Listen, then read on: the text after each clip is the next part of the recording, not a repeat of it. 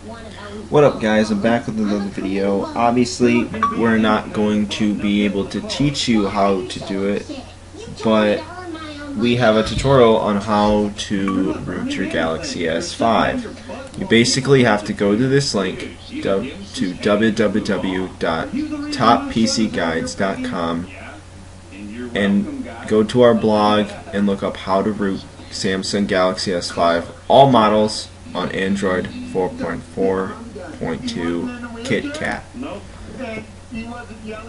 Now, we'll try to keep keep the tutorial up to date with the latest version of KitKat. If the phone gets updated, we'll make sure that we'll also get our tutorials updated.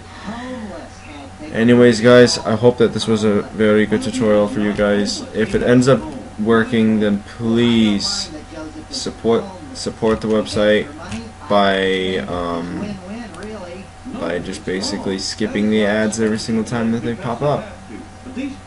Anyways, guys, that is how you root your Galaxy S5.